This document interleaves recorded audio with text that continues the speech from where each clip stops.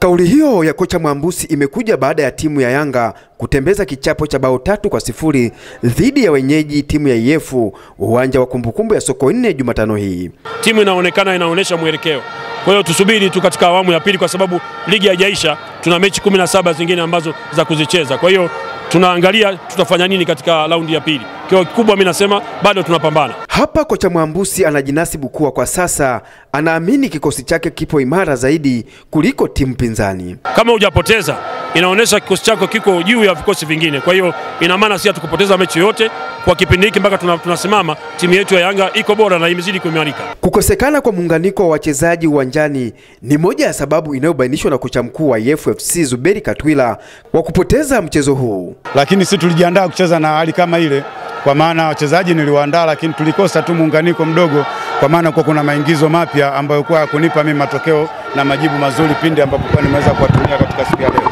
Wadau na mashabiki wa timu ya Yanga wamezungumzia mchezo huo. Ya, iko nafasi ambayo tunaifanyia kazi muda mrefu na tupo katika hatua za mwisho za majadiliano na maafikiano naweza kusema. Kwa hivyo kutakuwa kuna mchezaji mmoja definitely anakuja, naweza kusema ni top player, top top player.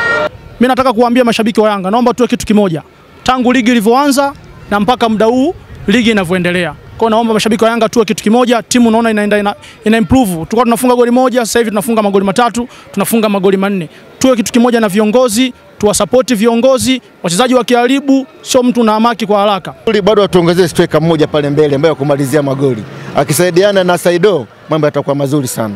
Kinara wa ligi kuu Tanzania bara msimu huu timu ya wananchi Yanga ilipata mabao kupitia kwa wachezaji wake Deus Kaseke dakika ya 13, Yakubu Sonye dakika ya 50, Faisal Salum Feitoto dakika ya 59. laudensi Simkonda, Star TV, Mbeya.